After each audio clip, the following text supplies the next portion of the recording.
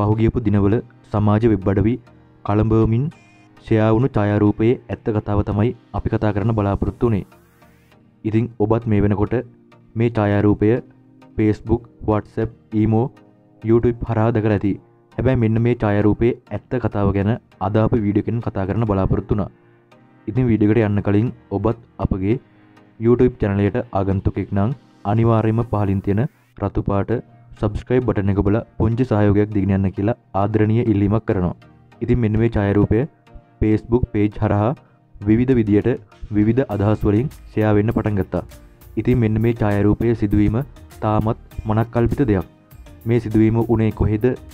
ඒවගේම මේ මරණයට පත් වනේ කවුද? මෙන්න මේ කියන ප්‍රශ්නවලට තාම හරියට උත්තරයක් නැහැ. හැබැයි මෙන්න මේ ඡායරූපෙත් දැකපු ගොඩක් දෙනෙක් අහන්න පටන්ගත්තා ඒවගේම හොයන්න පටන්ගත්තා මෙන්න මේ සිදුවීම ඇත්තද බොරුද? මොකක්ද මේකේ ඇත්ත කතාව කියලා?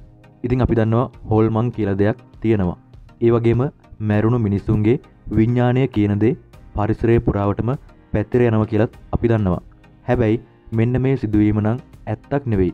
ඉතිං අපි ඔප්පු කල්ලම පෙන්න්නනවා ඒක ඇත්තක් නෙවේ කියලා. ඉතිං අපිට ප්ලේස්ටෝ එකට ගියම් පස්සේ මෙන්න මේ වගේ අවතාර අපිට එඩිට් හරා සැකසුම් කරන්න පුළුවන්.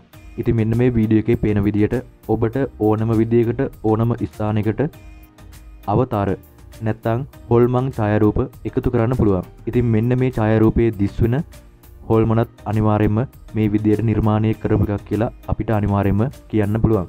ඉතින් මේ වීඩිය කරංාවේ මේ ඡායරූපය පේස්බුක් හරහත් දෙකපු ගොඩක් දෙනෙක් අහල තිබුණ. මේක ඇත්තක්ද බොරුවක්ද කියලා.